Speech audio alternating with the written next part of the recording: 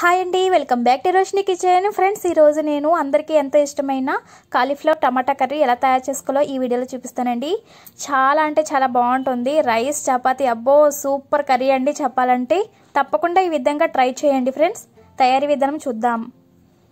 So ముందైతే stove వెలిగించుకొని బాండీ పెట్టుకొని కర్రీకి సరిపడా ఆయిల్ వేసుకోండి. ఆయిల్ బాగా హీట్ అయిన తర్వాత ఒక కప్పు ఉల్లిపాయ ముక్కలు వేసుకోవాలండి. ఉల్లిపాయలు సన్నంగా కట్ చేసుకోండి. అలాగే రెండు మూడు పచ్చిమిర్చి కూడా కట్ చేసుకుని వేసుకోండి. ఈ ఉల్లిపాయలు బ్రౌన్ కలర్ వచ్చేంత వరకు బాగా ఫ్రై చేసుకోవాలండి. ఉల్లిపాయలు ఎంత బాగా వేగితే కర్రీ అనేది అంత టేస్టీగా ఉంటుంది.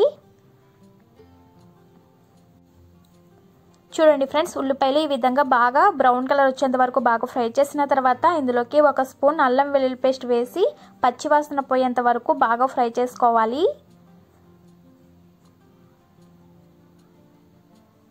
ఈ విధంగా బాగా ఫ్రై చేసిన తర్వాత మనము కాలీఫ్లవర్ వేసుకుందామండి. కాలీఫ్లవరు. ఇక్కడ నేను చిన్న చిన్న ముక్కల కింద కట్ చేసుకున్నాను. సో ఇంతకంటే పెద్దవి కూడా కట్ చేసుకోవచ్చు. లేదంటే ఈ సైజ్ అయినా కట్ చేసుకోవచ్చు. సో చూసారా నేను ఈ విధంగా కట్ చేసుకున్నాను. ఇలా కట్ చేసుకుంటే బాగుంటుంది. అలాగే ఇందులోకి మనము ముప్పావు టీ స్పూన్ పసుపు అలాగే ముప్పావు టీ స్పూన్ ఉప్పు కూడా వేసుకుందాము.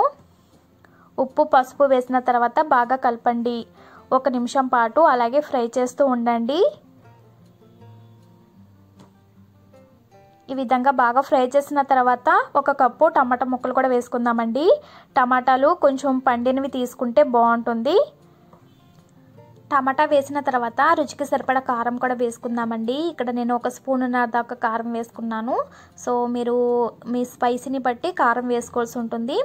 అలాగే ఇక్కడ నేను ఉప్పు కూడా వేస్తున్నానండి. రుచికి సరిపడా ఉప్పు వేస్తున్నాను. ఆల్రెడీ కొంచెం వేసాను కదండి. సో చూసుకొని వేసుకోవాలి ఉప్పు అనేది.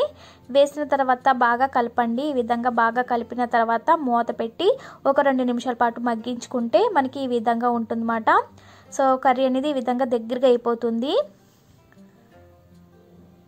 ఇప్పుడు ఇందులోకి ఒక గ్లాస్ దాకా వాటర్ వేసుకుందామండి. సో వాటర్ వేసిన తర్వాత ఒకసారి బాగా కలుపుకోండి. ఉప్పు సరిపోయింది లేదో చెక్ చేసుకోండి.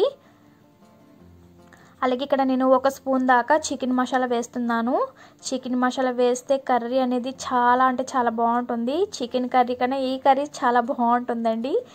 అలాగే ఒక రెమ్మ కరివేపాకు కూడా వేసి ఒకసారి బాగా కలుపుకొని కర్రీ అనేది దగ్గరగా ఎంతవరకు ఉడికించండి. సో చూసారా? ఈ విధంగా ఉడికించుకోవాలి. ఈ కర్రీ ఏంటంటే మనకి వాటర్ లాగా ఉంటే బాగోదు. దగ్గరగా ఉంటేనే ఈ కర్రీ అనేది చాలా బాగుంటుంది. రైస్ చపాతీ అబ్బో సూపర్గా ఉంటుంది. తప్పకుండా ఈ విధంగా ఒక్కసారి ట్రై చేసి మీకు ఎలా వచ్చింది అనేది నాకు కామెంట్లో చెప్పండి ఫ్రెండ్స్.